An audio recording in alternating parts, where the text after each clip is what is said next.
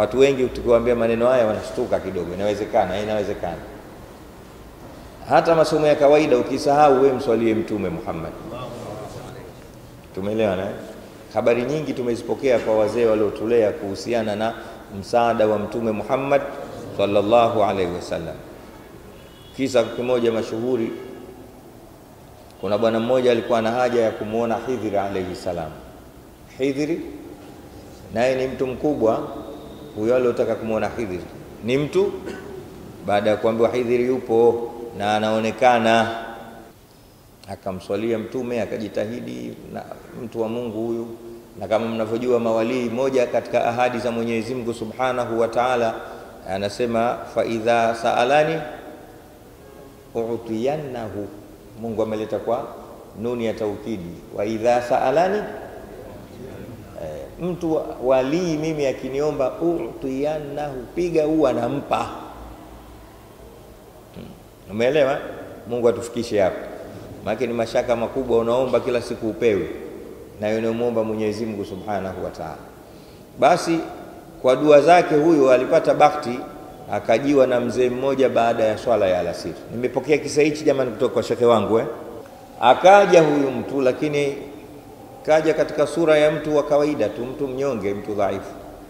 Akamkuta yule bwana, salamu aleikum, shama. Akaongea ongea, mwisho wa yote akamuuliza, lakini hapo hajamgundua kwamba ndio nani Hidhiri alayhi salam. Kaambia, bwana, umekaa hapa na kuona unajishughulisha shughulisha na mambo ya kusoma soma wewe eh mimi nina mushkili wangu.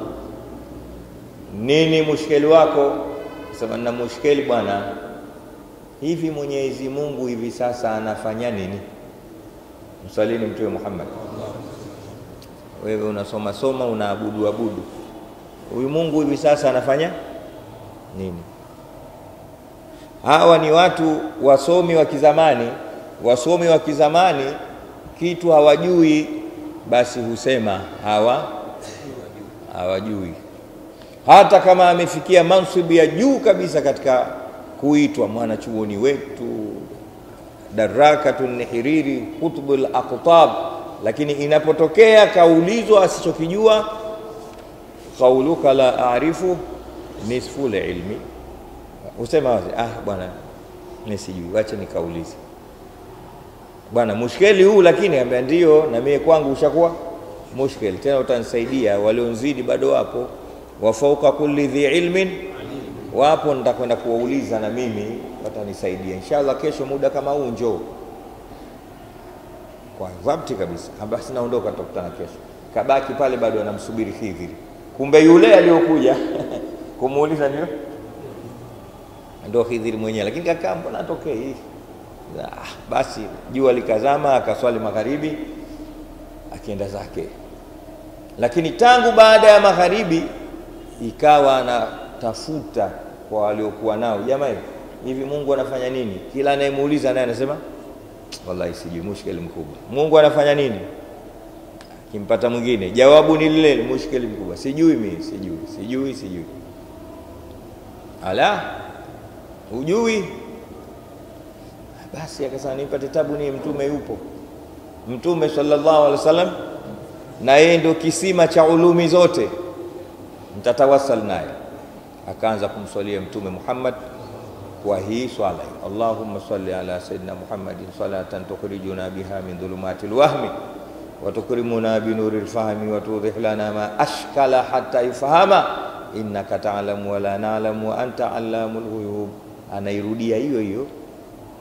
Allahumma salli wa sallim ala sayyidina Muhammadin salatan tukhrij e, mwenyewe alisema kwa nuni ya ya, ya mutakallim salatan tukhrijuni biha min dhulumati lwahmi wa tukrimuni binuri lfahami wa tudih li ma ashkala hatta yufahama innaka ta'lamu wa la a'lamu wa anta allamul ghuyub.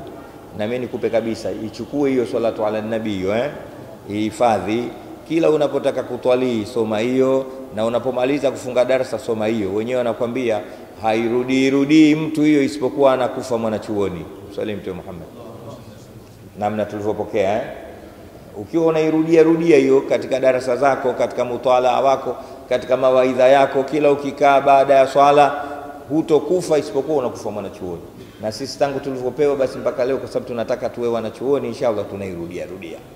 Kwa hiyo naye akasema Allahumma salli wa sallim ala sayyidina Muhammadin salatan tukhrijuni biha min dhulumati lwahmi wa tukrimuni binuri lfahmi wa tudhi li ma ashkala hata yufahama innaka ta'lamu wala a'lamu an alamul ghuyub.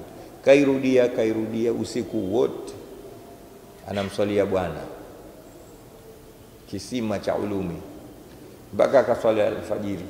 Baada ya alfajiri, kama kawaida yake kumaliza nyiraji, mtu huwa analala kidogo.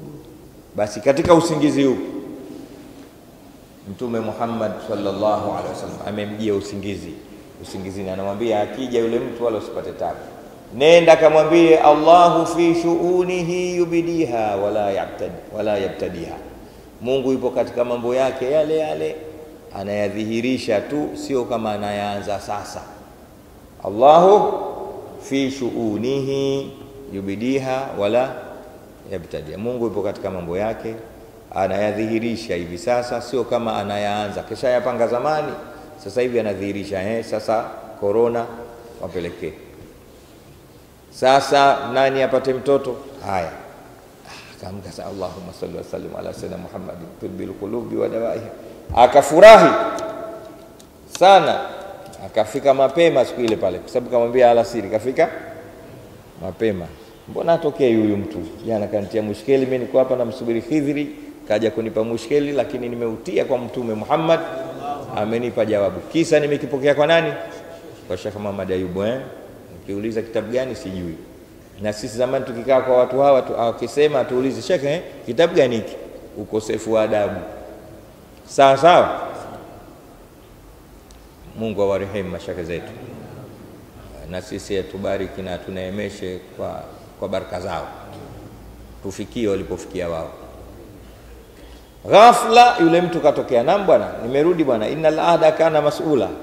Akaambia basi inshallah tumswalie kwanza Mtume Muhammad. Wakamswalia, akaambia bwana, ile swali na mimi kuuliza kwa mtu fulani huko, akanambia, hakumsema nani?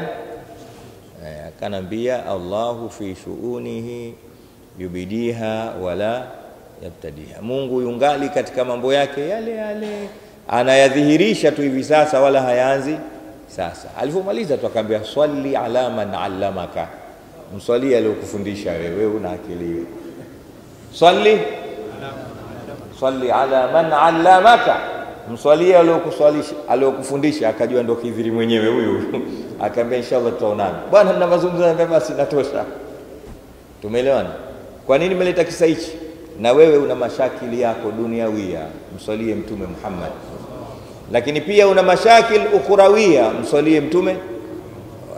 Mmoja e, katika masahaba Ubaya bin Ka'b alimwendea Mtume Muhammad sallallahu alaihi wasallam akaambia, mimi nataka sana nikuswalie wewe, na kawaida yangu nakuswalia sana, lakini leo naomba unipe idadi, nikuswalie kwa idadi gani? Akaambia, kawaida yangu mimi huswalia thuluth. Eh, akaambia nyingi, lakini ukiweza zidisha. Eh, basi nitafanya nusu, maanake nitafanya mchana tu. Akaambia nyingi, lakini ukiweza zidisha. Akasema basi nitafanya mara tatu ya hivyo, yani kwa muda wa masaa kumi na sita. Ambia ah, nyingi hiyo, lakini ukiweza zidisha. Akaambia sikiza sasa, mimi nitafanya masaa yote mchana na usiku, mimi nakuswalia wewe. Akaambia ukifikia hapo Mungu atakuondoshea matatizo yako ya duniani na matatizo ya akhera. Matatizo ya duniani ni haya ambayo tunaishi nayo, na matatizo ya akhera moto. Huyu ndo Mtume Muhammad, tumswalieni sana Mtume Muhammad. Usikae wewe mchana kutwa hujamswalia Mtume sallallahu alaihi wasallam. Tafuta kila njia, mdomo wako iwe unamtaja Mtume tu kila wakati, na dhikri nyingine, ndo dawa kubwa ya maisha yako unaoishi nayo sasa. Tumswalieni Mtume Muhammad. Haya.